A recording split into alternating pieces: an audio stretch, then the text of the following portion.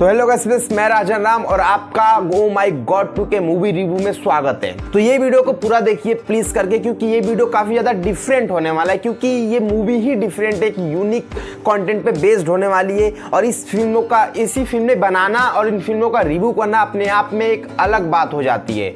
और आपको सबसे पहले इस मूवी का रिव्यू करने से पहले मैं आपको बता दूँ कि अगर आपको अभी भी ये कुछ नहीं पता है कि ये फ़िल्म किस टॉपिक पर बेस्ड है, इस फ़िल्म को लेकर क्या क्या चर्चाएँ और क्या क्या चीज़ें बाहर निकल रही अगर आपको इस सब चीज़ों के बारे में नॉलेज नहीं है, क्योंकि यहाँ पे ऑडियंस बहुत सारी ऐसी ऑडियंस है जो फ़िल्म के नाम और अक्षय कुमार के पोस्टर को देखकर टिकट्स ले लिए और सिनेमा घर में बैठ के देखने के लिए उनके बाद उनको मालूम पड़ा कि ये मूवी में क्या दिखाया जा रहा है। तो आपको अगर थोड़ा भी अंदाज़ा नहीं है कि इस फ़िल्म के अंदर क्या है और किस टॉपिक पर बनी है तो ये वीडियो थोड़ा आपको स्पॉइलर हो सकता है। तो वीडियो में आगे बढ़ने से पहले आप सावधान हो जाइए तो चलिए वीडियो को शुरू करते हैं। तो सबसे पहले अगर मैं बात करूँ ओ माई गॉड मूवी के बारे में, जिसके अंदर अक्षय कुमार के साथ पंकज त्रिपाठी और यामी गौतम भी लीड रोल में देखने को मिलने वाले अक्षय कुमार का जो कैरेक्टर है मूवी के लिए, वो एक साइड रोल भी बोल सकते हैं, क्योंकि यहाँ पे मुझे पर्सनली ऐसा लगा कि ओ माई गॉड जो फ़र्स्ट पार्ट आया था 2013 में यहाँ पे ओ माई गॉड टू के अंदर अक्षय कुमार का जो रोल है, वो फ़र्स्ट पार्ट से थोड़ा कम रोल यहाँ पे देखने को मिला। यानी कि जो स्क्रीन टाइमिंग है अक्षय कुमार का, वो पर्सनली मुझे कम फील हुआ। इसके अलावा अगर मूवी के बारे में बात करें तो देखिए मूवी का फ़र्स्ट हाफ़ काफ़ी ज़्यादा इंटरेस्टिंग तरीके से आगे बढ़ते हुए दिखाई देता है। जिस तरह से मूवी के कॉमेडी ह्यूमर को क्रिएट किया गया, काफ़ी सेंसिबल टॉपिक को और काफ़ी सेंसिटिव तरीके से चीज़ों को जिस तरह से एक्सप्लोर किया गया है, चीज़ों को जिस तरह से बता बताया गया है, समझाया गया है, वो बहुत ही अगेन एंड अगेन बहुत ही अच्छा है। यानी कि चीज़ें हमें कुछ भी उलझी हुई दिखाई नहीं देती है। जिस टॉपिक पर फ़र्स्ट हाफ़ में एक नॉर्मल संदेश को, जिस तरह से मैसेज को, लोगों को समझाने की कोशिश करी गई है, इस फ़िल्म के माध्यम से वो बहुत ही अच्छी तरीके से प्रेजेंट होते हुए दिखाई देता है। जितने भी समाज में सेंसिटिव जो इश्यूज़ वगैरह है, उन चीज़ों को काफ़ी अच्छी तरीके से फ़र्स्ट हाफ़ में यहाँ पे हैंडल करते हुए देखा गया है और कहीं ना कहीं जो इसको हैंडल करते हुए हुए जो कॉमेडी टाइमिंग क्रिएट की गई जो कॉमेडी ह्यूमन देखने को मिलता है, वो बहुत ही अच्छा है और आपको जरा भी बोर नहीं होने देता है। इसी के साथ फ़िल्म का फ़र्स्ट हाफ़ खत्म होता है, काफ़ी इंटरटेनिंग और इंगेजिंग के साथ। वही सेकेंड हाफ़ मूवी का जब आता है तो सेकेंड हाफ़ इस मूवी का उस मुद्दे पे आ जाता है, जिस मुद्दे को लेकर इस फ़िल्म को काफ़ी ज़्यादा उलझे और समस्याओं में उलझाया गया। है जैसे कि सेक्स एजुकेशन वाला जो टॉपिक है, यहाँ पे हमें सेकेंड हाफ़ में देखने को मिलता है, जिसके इसके ऊपर मूवी के अंदर काफ़ी कुछ ज़्यादा कहा गया है, काफ़ी चीज़ें रिलेट की गई है। हमारे कुरानों हमारे ग्रंथ, हमारे जो भी धार्मिक चीज़ें हैं, उनके अंदर इस चीज़ को लेकर क्या कहा गया है क्या ये सही है, क्या गलत है?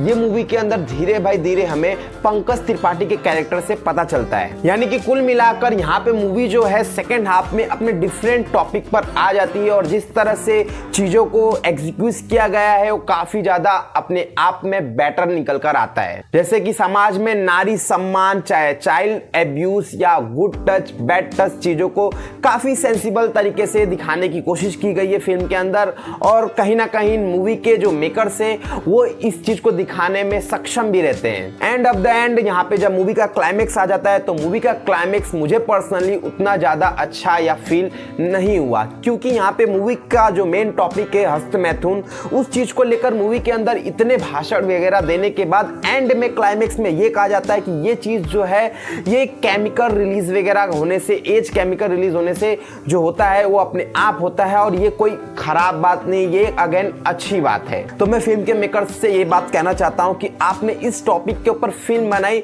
जो कि कोई बड़ी बात नहीं है, क्योंकि इस चीज़ को लेकर, इस टॉपिक को लेकर बहुत सारे सोशल मीडिया पर जो मोटिवेशनल स्पीकर्स वगैरह के थ्रू हमें बहुत सारे ऐसे सोर्स मिल जाते हैं इस टॉपिक के, कि इसका ज्ञान लिया जा सकता है। आप बोल सकते हैं कि ऐसी टॉपिक पर हमें खुलकर बोलना चाहिए बट मैं आपको बता दूँ कि ऐसी टॉपिक्स पे लोग ऐसे सोर्सेस बहुत सारे ऐसे सोर्सेस से जहाँ से ये ज्ञान लिया जा सकता है, जिसे ज्ञान चाहिए जिसे नॉलेज चाहिए, उसे अगेन एंड अपने आप मिल जाता है।